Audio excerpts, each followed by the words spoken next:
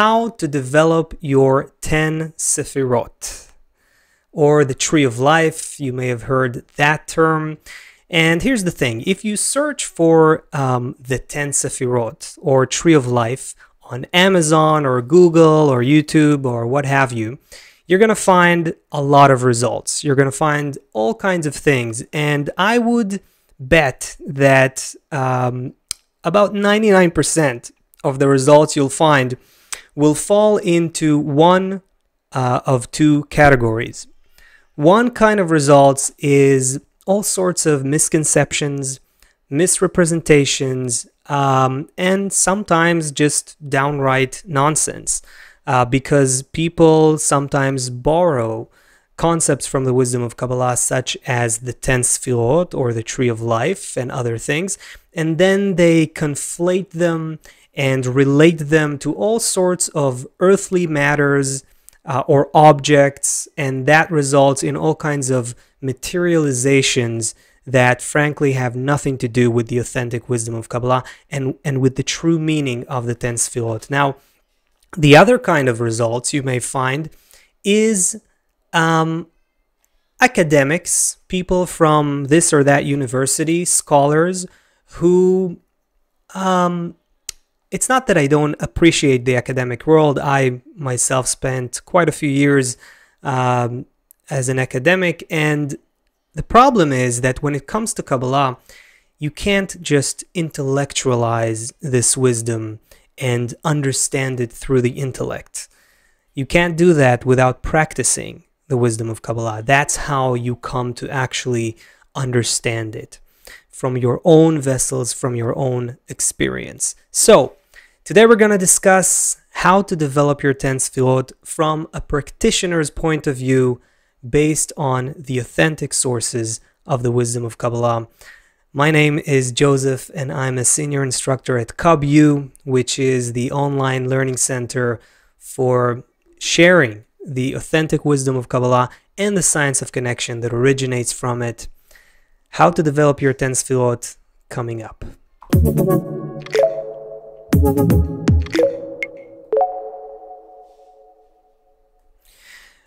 Okay, so uh, we're gonna go and uh, dive right into it.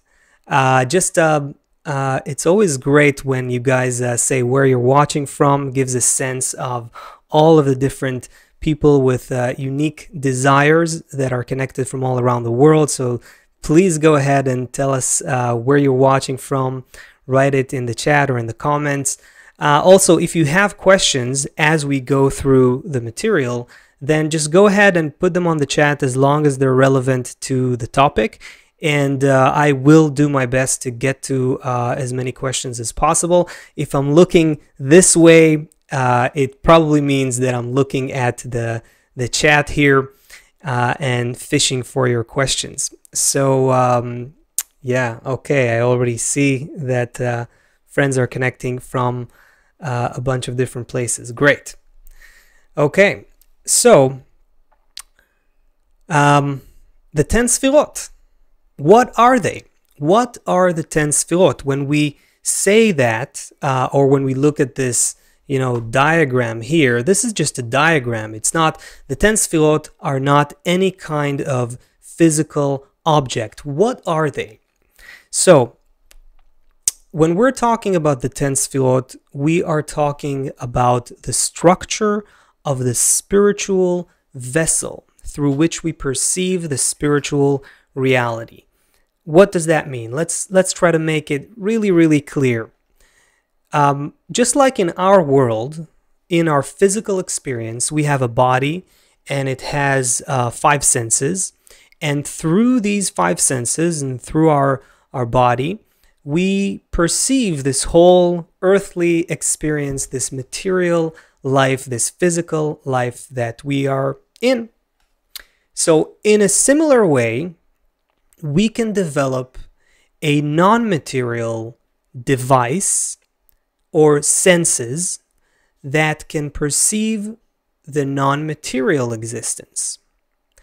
So, the structure of such a device, Kabbalists found, is made up of 10 sfirot. We still need to understand what they are, but just to give it a clear title, we're talking about the structure of our spiritual vessel. You can call it the structure of the soul, you can call it the structure of the spiritual sense or the spiritual senses. That's what it is. It's non material, it has nothing to do with any object or uh, physical being. So we need to understand what it's about in order to get to how to develop one, right? So here's another concept. In spirituality, in the spiritual perception of reality, there's no separation between us and what we perceive. There is a clarity that all of reality is one thing. It's it's one entity. And so when we talk about the structure of the spiritual vessel being ten sfirot, or when we talk about the structure of the spiritual reality itself, we're talking about one and the same thing. This is kind of different to to get used to because in our world we're used to a very um, kind of different experience, right? In our physical experience of the world, there is us. Uh, let's say this this body, this flesh and blood body. Uh, all our consciousness is glued to this bodily experience that we have, and we feel that this body is separate from the environment, from the, our surrounding there is us and there is the world. There is us and there is reality. There is us and all the other 8 billion human beings. But in the spiritual reality, um, one comes to perceive all of reality as part of oneself. We begin to identify that everything that exists, the, the still level of reality, the vegetative level of reality, the animate level, the human level, and other spiritual uh, qualities that exist, they're all layers of us. They're all uh, different qualities of one existence. And we and reality are one and the same thing. That's why when we talk about the structure of the 10 sfirot, we're talking about the structure of the spiritual vessel, but at the same time, we can also find Kabbalists using the 10 sfirot in their writings to describe the spiritual reality because it is uh, basically synonymous. It's just a matter of perspective. Are we looking from the perspective of the one who attains reality or the perspective of what is attained by the perceiver, by the observer? All right, I hope that was that was clear enough. If not, uh, definitely go ahead and post questions uh, in the chat and we'll get to them a little later. Um, all right. So, what uh, what is the origin of the ten sfirot? What are the ten sfirot actually made of? What what is it? Right? What are these these things? Where do they come from? How do they come up? So we're gonna try to really get into that and understand that. In order to do so, we're going to have to back up a little bit, okay? We're going to have to go all the way back to what is the nature of reality in general? What is the nature of the whole reality uh, according to the wisdom of Kabbalah? So let's use this quote from uh, Kabbalist Yehuda Ashlag, Baal Sulam. Um, I'll put it here. There we go. Uh, actually, I'll put myself on the other side here. There we go. All right.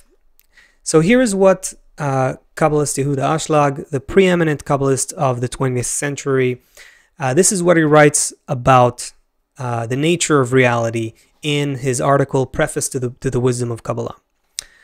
So, the will to receive is the whole substance of creation, from beginning to end.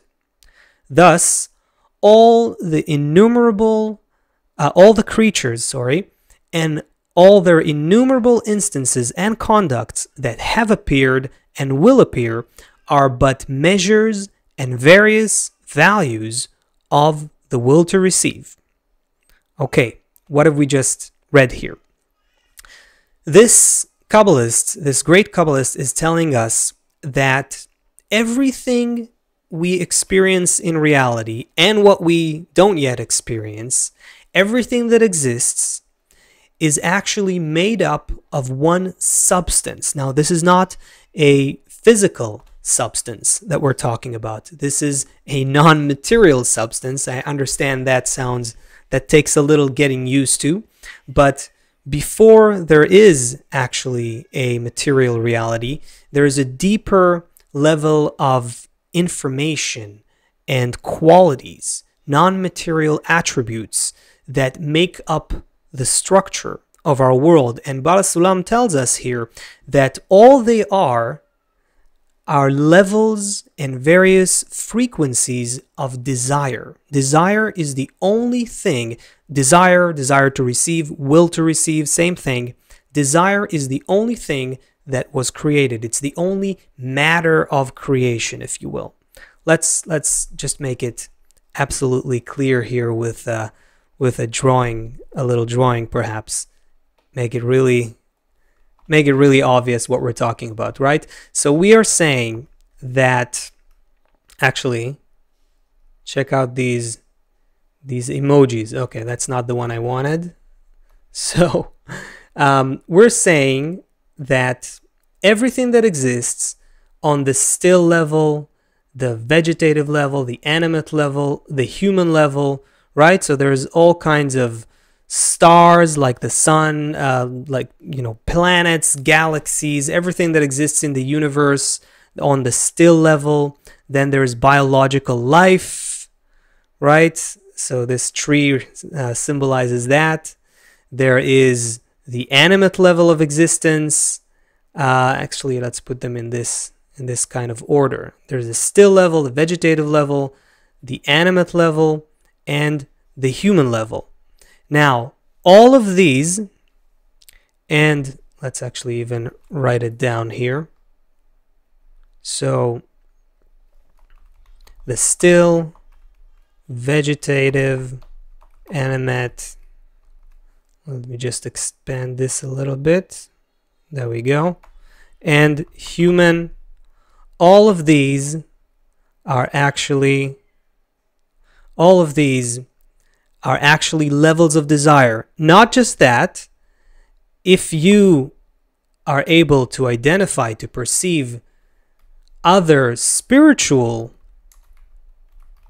uh, beings or entities or degrees, let's write, they too, all of this reality, everything that can possibly exist, is in this one giant uh, structure or made up of the same kind of material that we call desire.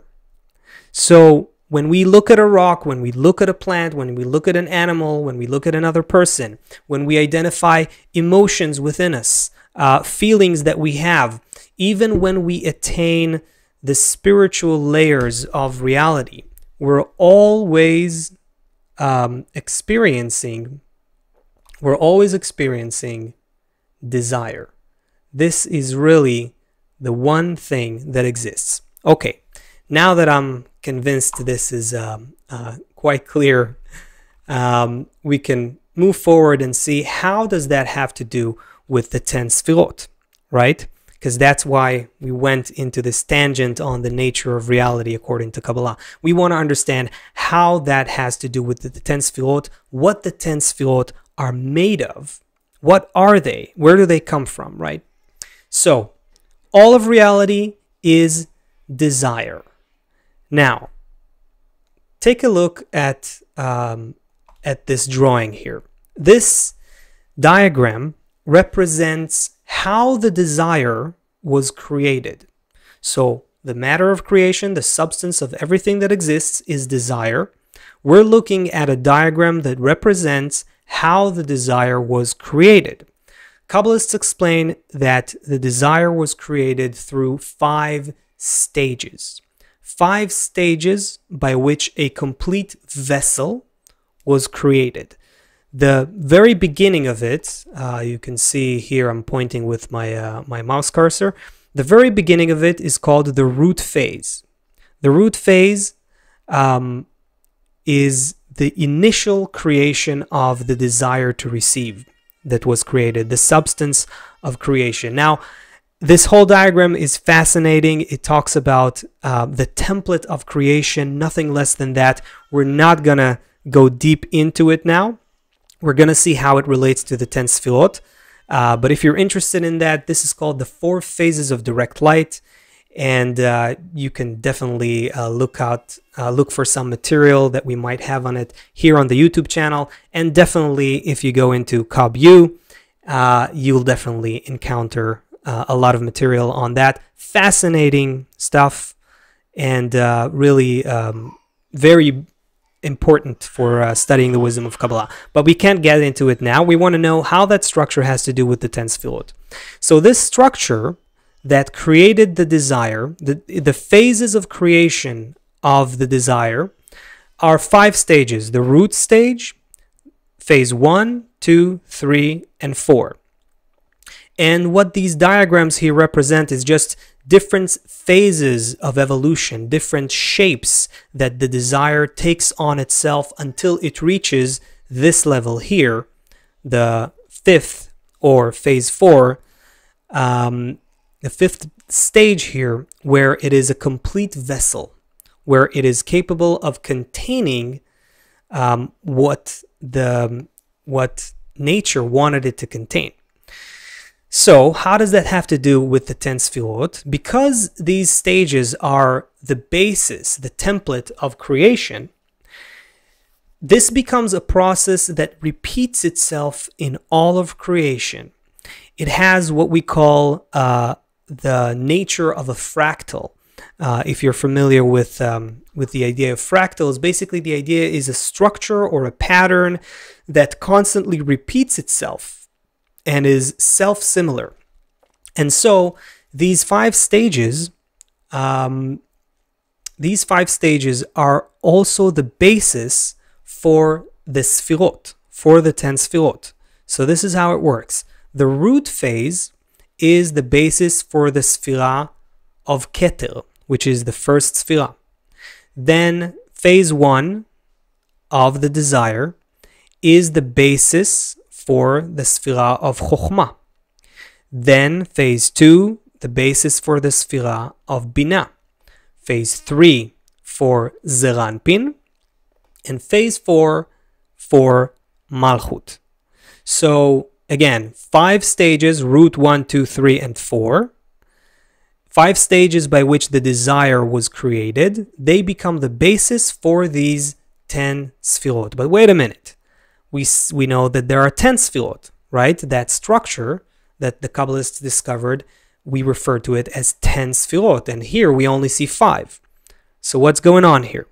So this uh, phase here, phase three, that is the basis for the Sphira of Zeir Anpin, this is a very unique stage of creation.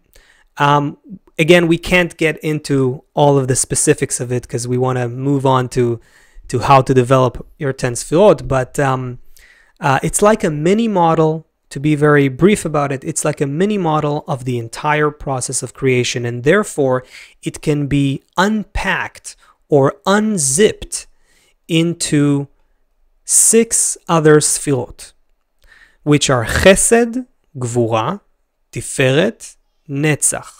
Hod Yesod. So, when you look at all of these, these five stages of desire, when you uh, correspondingly we see the sfirot that that come from them, we actually have here 10 sfirot. Another way to look at it is like this. So here uh, on the right side, uh, let me move myself for a second. There we go. Here on the right side, you can see 10 ספירות, כתר, חוכמה, בינה, חסד, גבורה, תפארת, נצח, הוד, יסוד, מלכות. And here we have כתר, חוכמה, בינה, that's 3. Zeir Anpin is basically all of these six ספירות, חסד, גבורה, תפארת, נצח, הוד, יסוד. So that's another six. And the last one, the tenth, is Malchut. So this is where the, the ten Sfirot come from. Okay, they come from the very structure of reality. Remember what we said they were?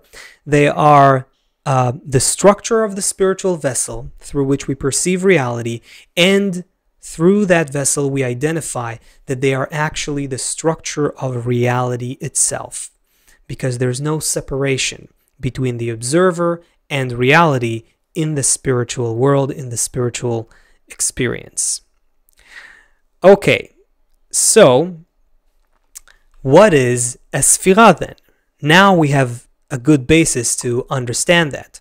What's a sphira? What, what is it actually? We already know that uh, a sphira is basically a desire, right? We already understand that it has to be made up of a desire. So, what is unique about a sphira that uh, that makes it a sphira? What happens to the desire that be, it becomes something that Kabbalists refer to as sphira? So, sphira comes from the word, from the Hebrew word sapir.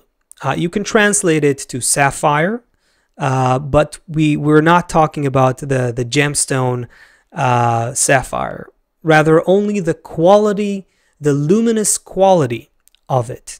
That's the meaning of the word sapir, that something shines. So, sphira, let me move my head to the other side here. There we go.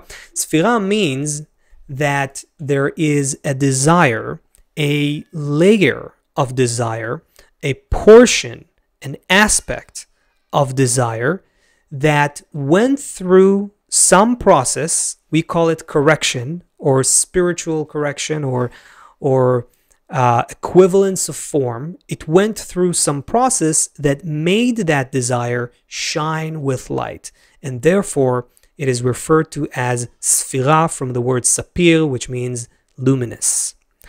So, these desires that become sphirot, they constitute each and every level and layer of reality. Okay, uh, I, I, it's going to get a little bit technical uh, now before we can understand how uh, how we can get into it more emotionally. So um, I hope uh, I hope you're um, bearing with me so far in terms of uh, uh, questions. let's continue a little bit more, and we'll get to to questions later on. Okay, but if you have them uh, until this point, definitely go ahead and post them.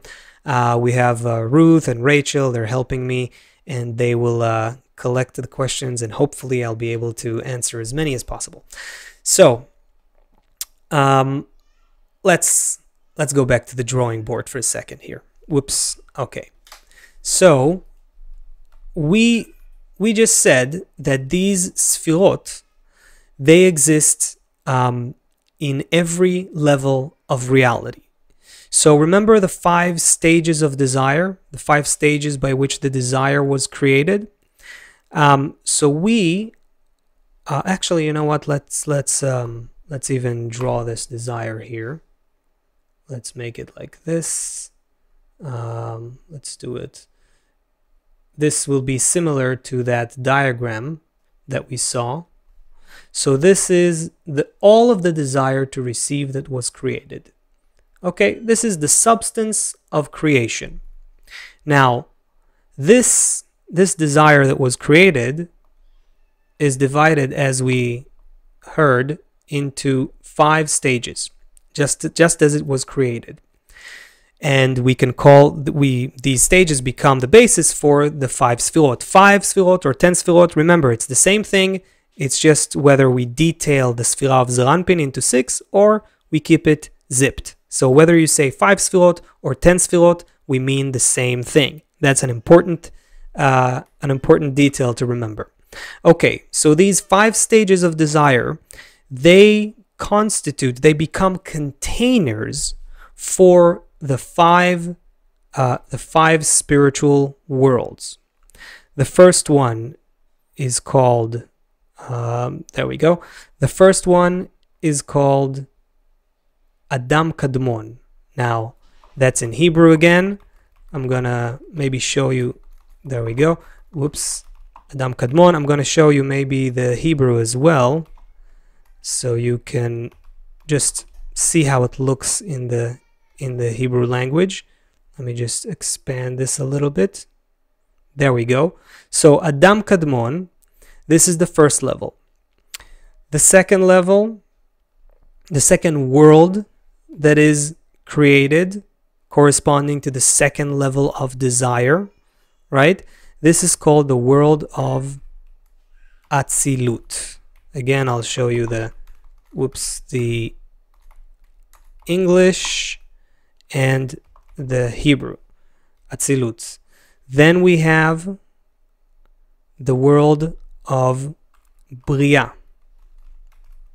Bria, that's in English and now in Hebrew. There we go. Then we have the world of Yetzirah. And last last one is the world of Asiya. These are all words in Hebrew. I'm not going to go into what, what each word means, but what's important is for us is to understand the essence of these words, of these worlds. What are these? What are we talking about here?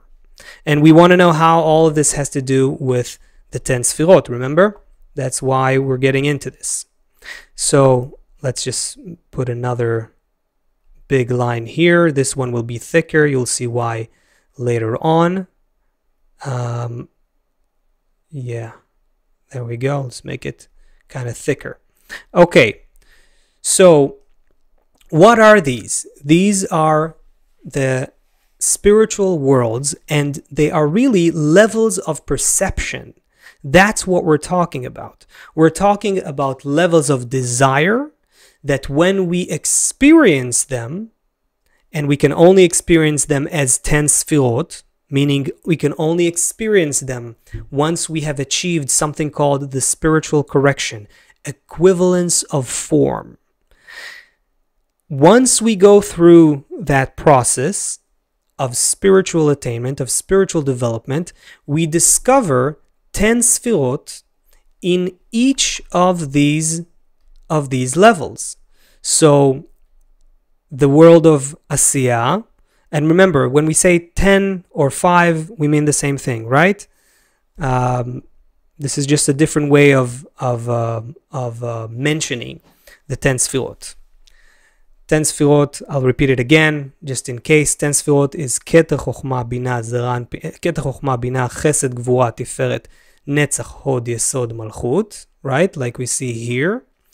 And when we let's go back for a second. There we go. And when we uh, when we say Keter Chochma Bina Zeir Anpin and Malchut, we are just mentioning five. But we whether we mention five sfirot or ten sfirot, we mean the same thing here. So these ten sfirot exist in every level of reality. So right here, uh, let me change the color here for a second. Okay, so right here, there are 10 sfirot, or 5, doesn't matter, 5 stages, doesn't matter, right? Right here, 10 sfirot. Right here, again, 5 sfirot here as well, or 10 sfirot.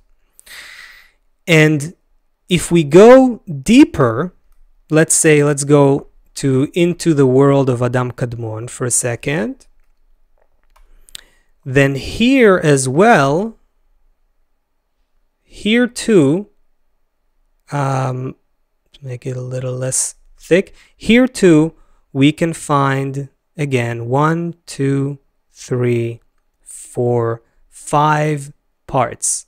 So again, we have five that five sfirot or ten sfirot, and within within each of them there's another five five, five, five, and five.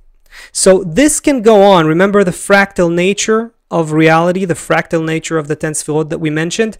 This is where it comes to play. So we can go all the way into infinity. In every sphira, there is another 10 sphirot. And in every sphira there, there is another 10 sphirot, all the way to infinity. But the Kabbalists say that in order to give a, like a general description of the spiritual ladder in order to provide a general description of the spiritual reality they give us three levels three levels of this uh, description. So this is the first level. We called it worlds adam kadmon atzilut bria yetzira asiya. Then the second level uh, meaning the sfirot that make up the worlds, the five sfirot that make up the worlds. So these,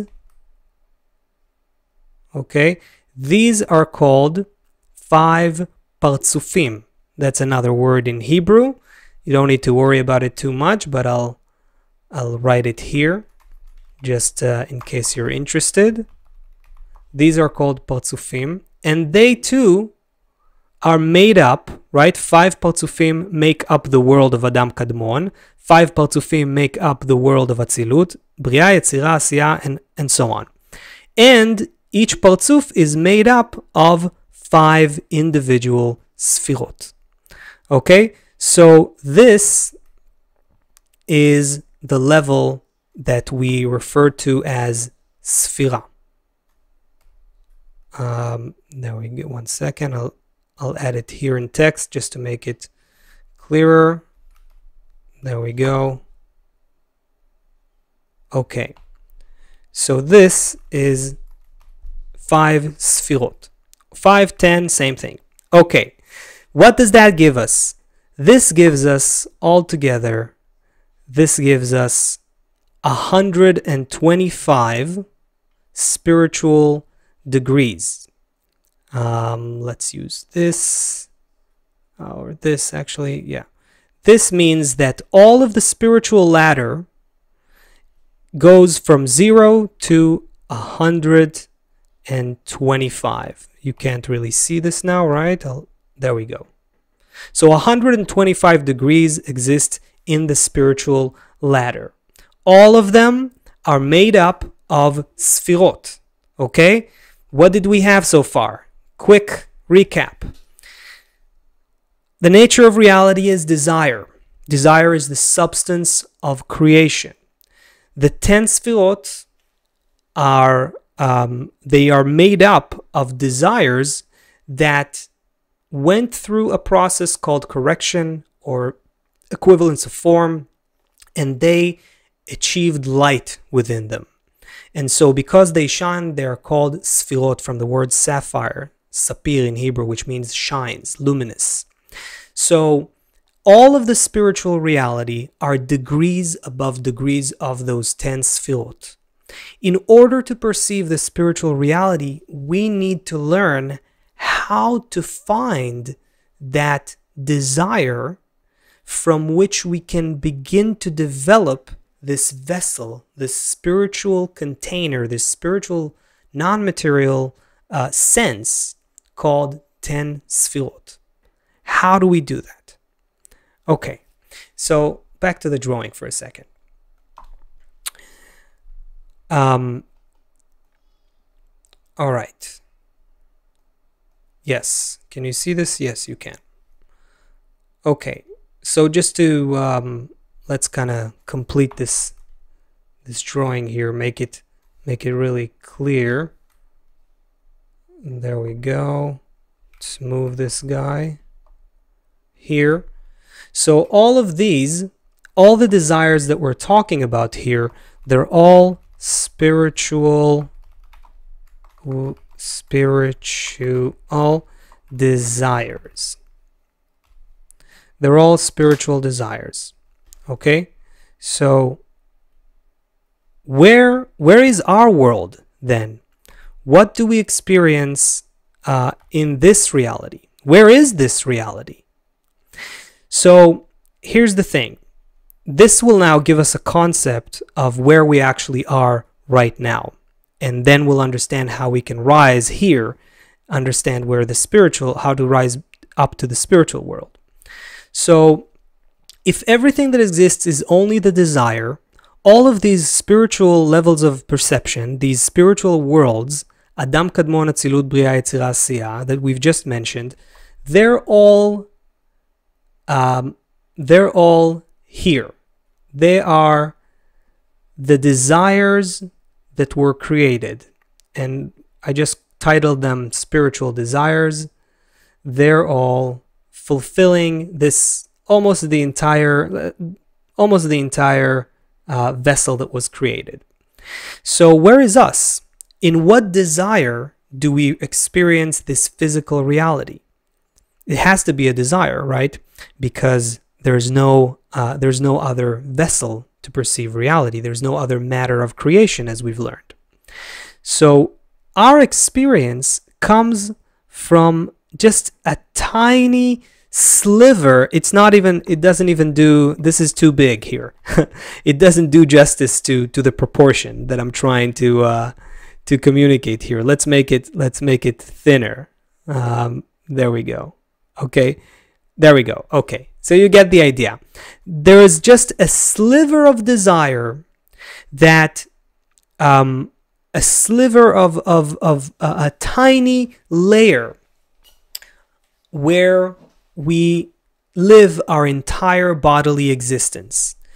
And this whole, uh, everything that we experience is actually below this spiritual ladder. So our world is here. Um, let's continue this, this line for a second. There we go.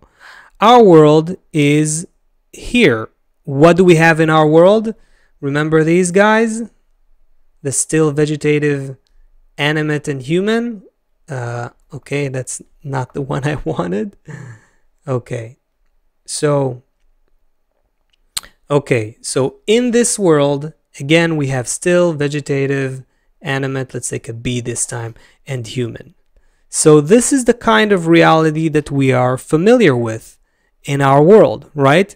This is the still vegetative, animate, uh, and, and human, right? Still vegetative, animate, human. Let's just fix the order here. Okay, so this is the experience we call this world. In Hebrew, Haolam Hazeh. And all of it, everything that we experience here, let me just make this a little smaller. There we go. There we go. Everything that we experience here in this world, here, comes from uh, our corporeal desire. So our corporeal desire is tiny with respect to the spiritual reality, with respect to the spiritual desires. It's just a very tiny layer of reality this thing, right? Okay. So, in this world as well, where are the 10 Sfirot, you might ask? We just said that they exist in every layer of reality, didn't we? We said that Adam Kadmon is made up of Partsufim, made up of Sfirot, Atzilut the same, Bria the same, Yetzirah the same, Asiya the same. What about this world? What is this? So, while we think that we live in a physical existence, this is just the way in which we experience this level, this tiny slice of desire that we, we can experience. This tiny layer of desire that we live in gives us a physical existence, um, a physical perception of existence through our five senses right? Let's remember our five senses for a second, and then we'll see how it all comes together. We have the sense of touch, sense of sight, sense of um, uh, smell. Let me just put it in the in, in a certain order here. Let's start from actually sound. Yes, and then sense of sight, sound, smell, and taste. Okay, Let me just zoom in a little bit. So these are the five the five senses through which we perceive the physical reality. Remember we said there are five senses or five levels in every layer of reality. The five senses that we are familiar with here in our um, in our physical existence, they actually correspond to the same ten sfirot. Keter, Chokhmah, Bina, Zeir Anpin. Remember, Zeir Anpin always includes six if we detail it, and Malchut.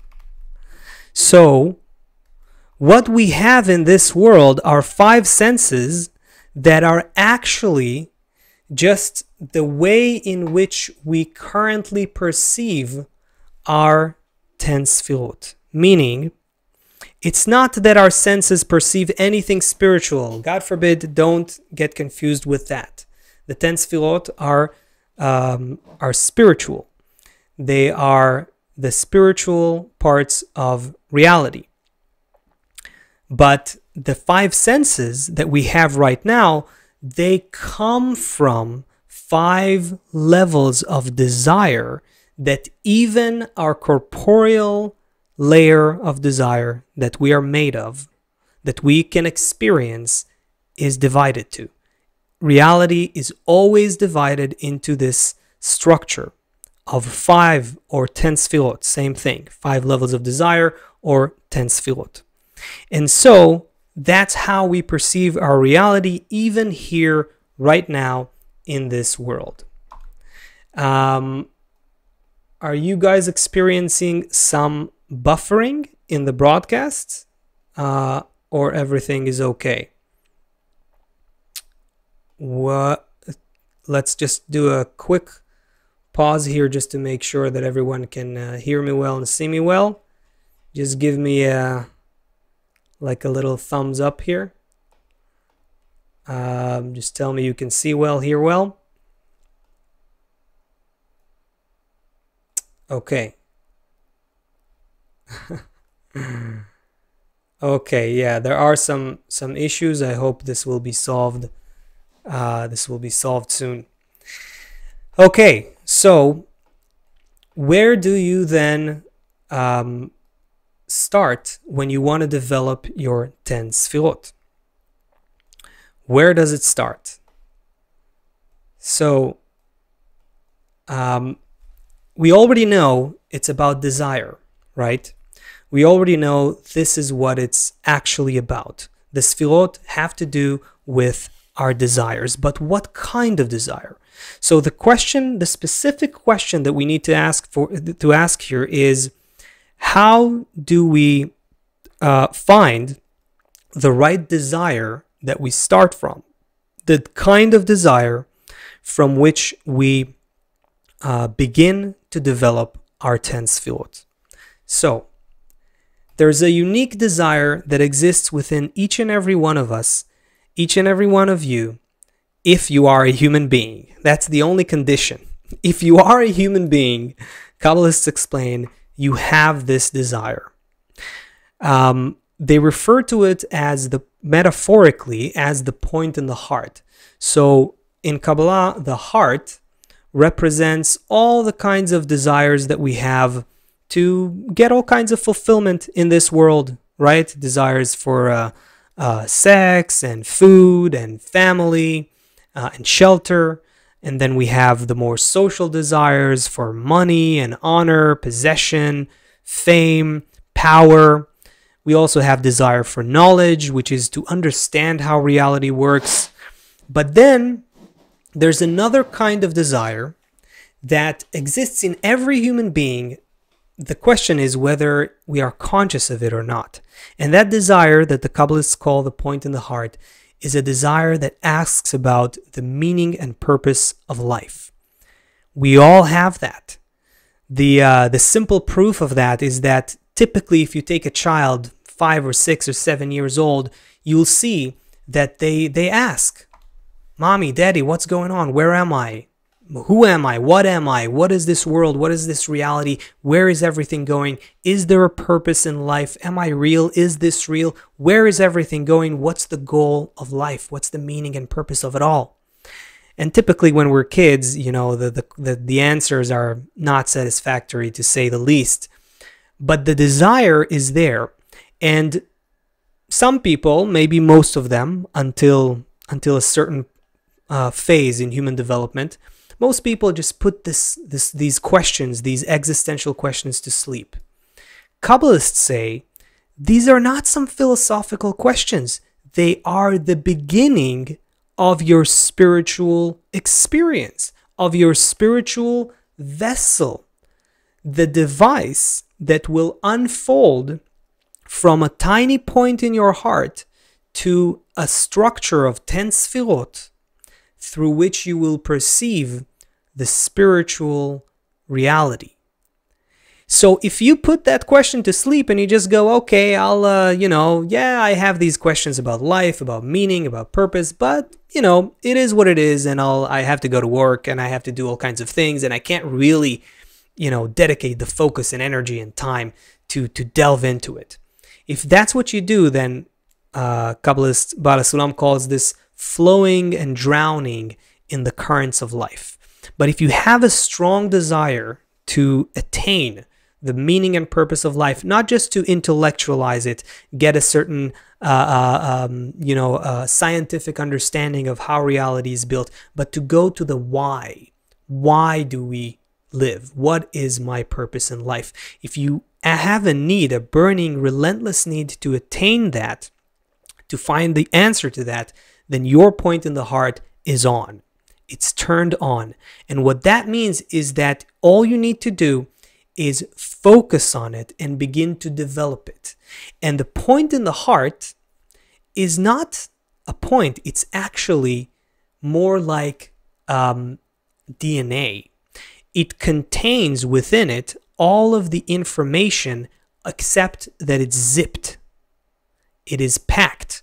And what you need to learn to do is to unpack it, to allow it to open up, to unfold and what will happen is that from a little point, it will become a complete structure of 10 sfirot.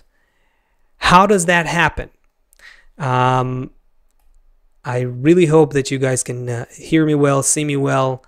I um, I hope so. Uh, I'll continue, and in the hope that uh, that you can um, hear well, even if uh, maybe the visual is buffering a little bit.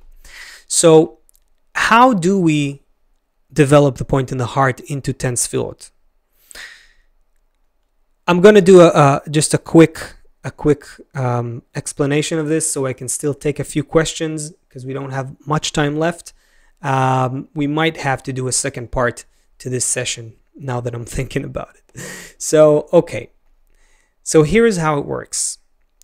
The let's go back to the drawing board for a second. So, okay. So the point in the heart begins from this tiny point. See?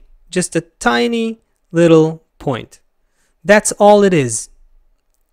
But when you begin to develop it, and Kabbalah is basically the gym and the roadmap to expand your point in the heart. Kabbalah teaches you how to flex that muscle, how to find it, put your finger on it, so to speak, put your attention to it, and begin to work with it. Begin to to uh, to flex it like a muscle and to put it in the right environment where it can flourish like a flower. But all the information is already there. Your soul is contained uh, in its embryonic state of development inside this little point here. And what happens when you begin to develop it is that, um, actually, let me just use a line here. There we go.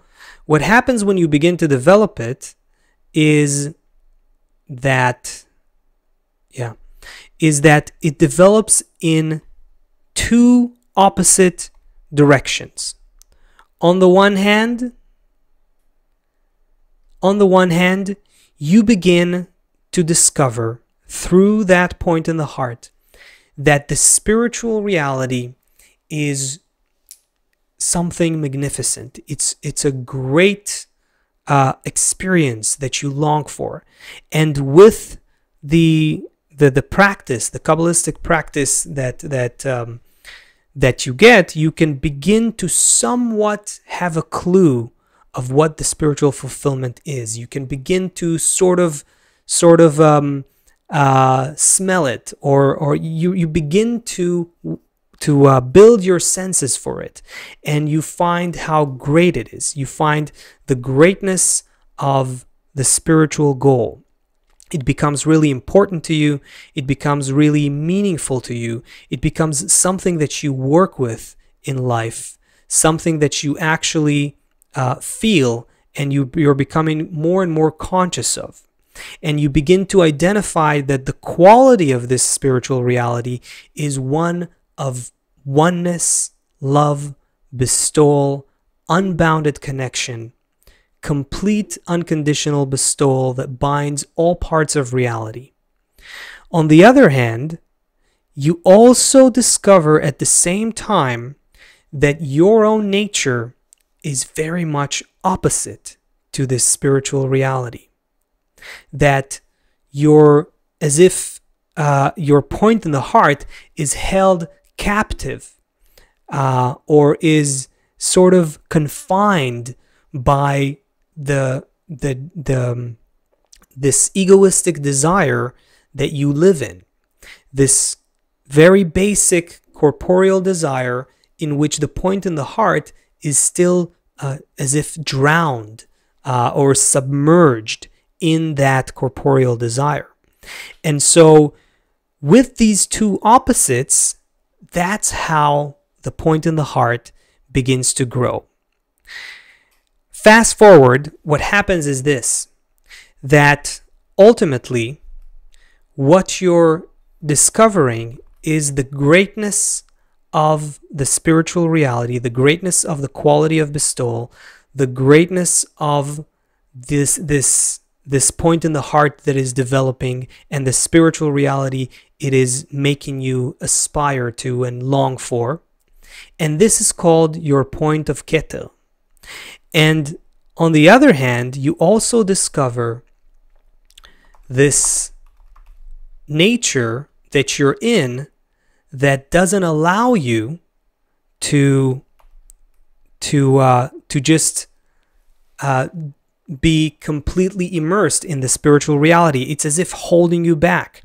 It is showing you that you are made of an opposite material. And so what happens is that when there is sufficient tension that is building up here, at first it's small, and then it's bigger, and then it's bigger, until it reaches a certain kind of threshold where where the the gap uh, we can call it the uh, the delta right delta usually the difference the delta the gap between Keter and Malchut becomes so great that you have a true need within you that has been brewed, that has been built up within you to to make these opposites come together, to make these opposites connect. And when you have that sufficient need, you become sensitive to what we call in Kabbalah the light that reforms, this natural evolutionary pressure that exists in reality that is pushing all of us towards our spiritual progress, our spiritual goal. When you become, when you build this tension between these two polar opposites within you, then you attract that influence, that surrounding light, and it makes the connection between your plus and minus your point of Keter, your point of Malchut, and that builds for the first time your 10 Sfirot. We have to uh, uh, move to a few questions Um, we got a few minutes for that, uh, and then we'll have to we'll have to conclude.